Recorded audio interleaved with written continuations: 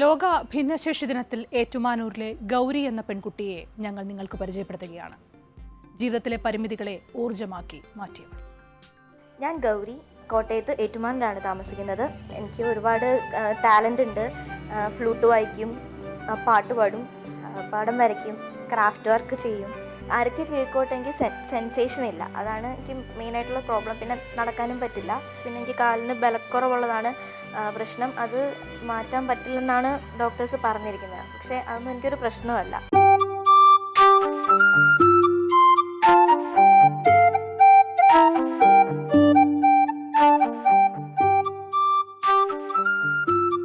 Family തരുന്ന സപ്പോർട്ടാണ് എന്നെ ഇവിടം വരെ ഇങ്ങനെ എത്തിച്ചിരിക്കുന്നത്. എന്റെ അമ്മയാണ് എന്നെ കൂടുതലും സപ്പോർട്ട് ചെയ്യുന്നത്. എന്റെ കൂടെ നിൽക്കുന്നതും ഒക്കെ അമ്മയാണ്.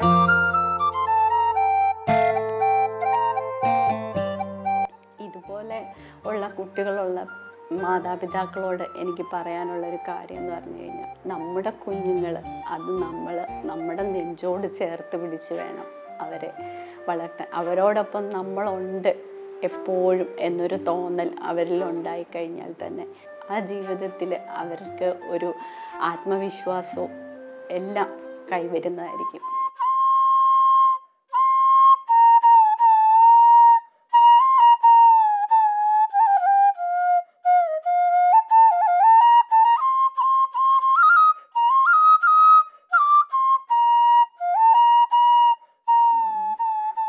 മറ്റു കുട്ടികൾ ഇങ്ങനെ സ്കൂളിൽ പോവും ഓടിച്ചാടി പോകുന്നത് കാണുമ്പോൾ പണ്ടൊക്കെ എനിക്ക് ഭയങ്കര സങ്കടം തോന്നുമായിരുന്നു.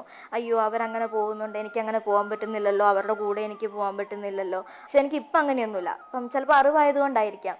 എനിക്ക് പറ്റുന്ന കാര്യങ്ങളൊക്കെ ഞാൻ തന്നെ ചെയ്യാറുണ്ട്. വീൽ ചെയർ പോകുന്നിടത്തൊക്കെ ഞാൻ തന്നെയാണ് പോവാറ്. അത്രമേൽ പറ്റാത്ത കാര്യങ്ങൾ ഒക്കെയാണ് ഞാൻ അമ്മയെ ഡിപ്പെൻഡ് ചെയ്യാറുള്ളൂ. എന്നെ എത്ര ഹാപ്പി ആക്കി വെക്കാൻ പറ്റുന്ന അത്രയും ഹാപ്പി ആക്കി എല്ലാവരും വെക്കാൻ ശ്രമിക്കാറുണ്ട്.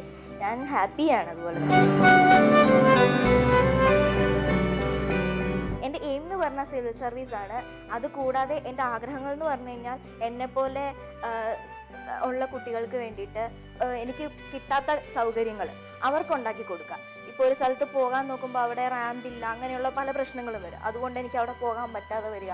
എന്നെപ്പോലെയുള്ള എല്ലാവരും അങ്ങനെയുള്ള സങ്കടങ്ങളിൽ കൂടെ പോയിക്കൊണ്ടിരിക്കുന്നവരാണ്. അപ്പോൾ അവർക്ക് വേണ്ടിയിട്ട് പറ്റാവുന്നിടത്തൊക്കെ റാമ്പുകൾ പണിയുക അങ്ങനെ അവർക്ക് പോകാൻ പറ്റുന്ന രീതിയിൽ സൗകര്യങ്ങൾ ചെയ്തു കൊടുക്കുക. ആയിട്ട് റീൽസ് ചെയ്യും. അതായത് ഇപ്പോൾ ടിക്ടോക്കിന് പകരം വന്നിരിക്കുന്ന ഇൻസ്റ്റഗ്രാമിനകത്തെ റീൽസ് നമ്മുടെ ടാലന്റ് നമ്മൾ തന്നെ കണ്ടെത്തുക. എന്നിട്ട് അതിന് വേണ്ടിയിട്ട് ഉള്ള കാര്യങ്ങൾ ചെയ്യുക. അല്ലാതെ മുറിയിൽ അടച്ചു കൂട്ടിയിരിക്കുക അങ്ങനെ എന്നെ കൊണ്ടൊന്നും കഴിയില്ല എന്നെ കൊണ്ടൊന്നിനും സാധിക്കില്ല അങ്ങനെ ചിന്തിക്കാതെ നമുക്ക് എന്ത് പറ്റും എന്ന് നമ്മൾ ചിന്തിക്കുക. അപ്പോൾ നമ്മളെ വിളിക്കുന്നത് തന്നെ ഡിഫറെന്റ്ലി ഏബിൾഡ് എന്നാണ്. മറ്റുള്ള കുട്ടികളിൽ നിന്നും പലതും വ്യത്യസ്തമായിട്ട് ചെയ്യാൻ പറ്റും. അത് നമ്മൾ കണ്ടെത്തുക.